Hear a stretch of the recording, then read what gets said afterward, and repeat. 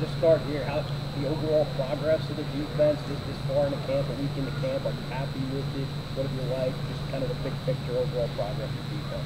Yeah, Greg. With defense, uh, you know, I think to play, be a good defensive team, what you got to do is you got to uh, do a great job as far as number one, in, installing the fundamentals, and uh, and then also putting in schemes that guys can execute, and that's what we're trying to do. Is we're trying to rep them over and over and over again, um, and making sure that our guys can, you know, do it one day a little bit better than the, the previous.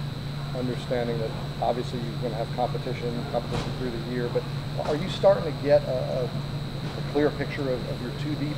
Um, do you start to feel good about that, or is it still very fluid? How would you describe? Yeah, it? no, I think it's really fluid. I, what we're trying to do is get through the initial install, um, very front loaded with that install, and then what we'll do is we'll get a chance uh, when we scrimmage here this Saturday to get a real picture of who wants to tackle and, and, and who can execute at a really high level.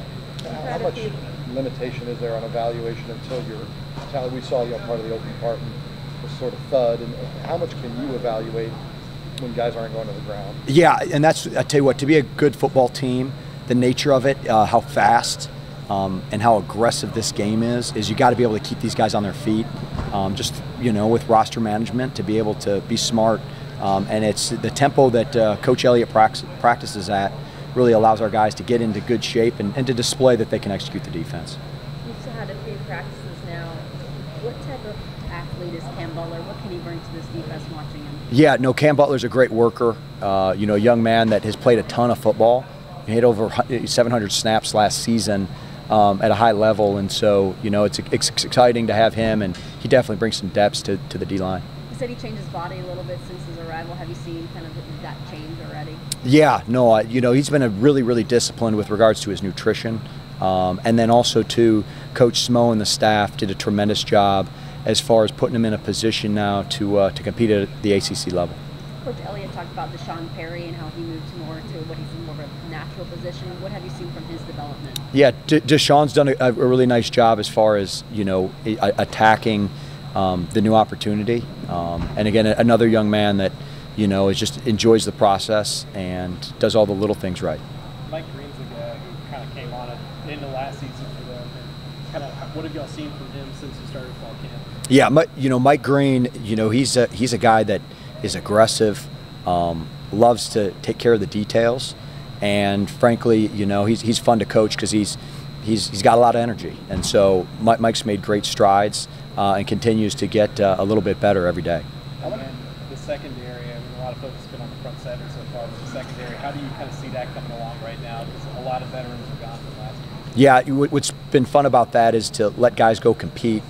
Uh, you know, with a kind of a fresh perspective, trying to put those pieces uh, to allow us to put the best defensive unit on the field. And uh, it's been hyper, hyper competitive, and it's going to be fun to see how it shakes out. And, uh, you know, I hope that creates some depth for us as well. How many defensive linemen would you like to play having a rotation uh, this fall? You know, I, I think that number, that's a fluid number. I, I, I don't know if that's, it's, I have a, a solidified answer on that. I think it's, we got to put the best players on the field. And as long as a young man can be productive, um, what we'll do is we'll find a way to get him on the field. This offense has a lot of big play kind of guys. The defense struggled giving up big plays last year, as I'm sure you're tired of us asking you about. Um, does it help when you get in a scrimmage situation that there are guys that can break big plays on this offense to, to kind of work against and give that? Oh yeah, you know. Uh, you know, Coach Kitchings and Coach Elliott, they do a tremendous job of uh, attacking us defensively. And then you, you marry that with some really, really talented young men on that offensive side of the ball every day, I mean, we're, we're, we're getting better. And, uh, and again, not only fundamentally, but also the attack of, of this of our scheme. So it's been uh, it, has been fun to, to learn a bunch. Anthony Johnson on one side, a guy with a lot of experience, but on the other side, kind of a little bit more mixed bag, I'm sure. But Cypress got a lot of playing time last year. Well, well, yeah. Well, there's that good-looking young man right there. I'll tell you what. He's always lurking. Oh, he's always lurking. I'll tell you what. But no, AJ. You know, I, AJ does a uh, you know does a great job as, as a worker and as a leader. You know, he, he's a young man that you know last night was here at 10:30 at night watching film after this practice, um, and that really wants to hone on his craft. Um, you know, Fentrell's done a, a really nice job as well, and so what what what'll be fun to see these guys is get better as camp progresses, going against this really really talented receiver corps. While, while we're in the secondary, there's a bunch of sophomores, um, all in the same class, kind of competing. Is anybody having a, a good early camp that, that's edging ahead in that class? Or is it- Yeah, no, I, and again, I, I guess I go back to kind of like the scrimmage here on Saturday should show us a lot as far as who that who that is and, and, and who can really make uh, you know make a jump for an, and really put push to play significant time as, as we go down the stretch. Assuming that you're, you're still working some nickel stuff or will start. Who, who's working at that nickel spot? Yeah, you know, we've actually, I tell you what, when you look at like a bunch of those sophomores, um, you know what, we've got Darius Bratton, Coen King, Lex Long. I mean, uh, we, we've got a lot of different names, uh, you know, choose from, Chase Chalmers.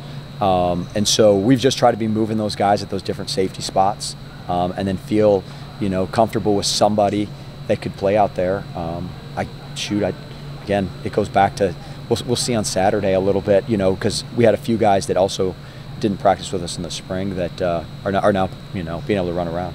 In your mind, at this time of year, um, are those three safety positions are they fairly interchangeable, or in the way you do things, do you want to get somebody into kind of their positions? Yeah, I think like with anything that we do, the more we can become an expert and hone, hone that skill set at a position, um, allows a young man to play faster. Um, at the same time, have to have the flexibility to be able to to mix and play some different positions, and, and, and that's that ends up being you know the challenging thing and one of the fun things about uh, you know trying to figure out who, who that person is. Coach Elliott said Hunter Stewart is inside now. How's he? Sure. How's he doing on the inside? What do you like about um, his skill set? Yeah, no, I mean, you talk you talk about a young man that just is physically gifted, big, strong, powerful, um, and and at the same time has done a really really nice job um, of being able to to know multiple positions. And so, you know, he, he brings a lot of diversity as far as what he can do um, at inside linebacker. Tony said that you know he spent a lot more time on the offensive side, but he's been watching film with y'all. Has, has to ask y'all to slow down sometimes. How is he kind of like picking up on the defensive side of this? Yeah, you know, I mean, you, you know, Coach Elliott, you know, with his, obviously with his experience and championship experience, um, you know, he's got a wealth of knowledge to bring into that defensive room, and so he's, uh, you know, again, it's always when you have a, a new staff, that terminology is a little different, but but now we're all on the same page, and you know, it's uh, it's awesome for him to, to pick holes into our in our defensive schemes.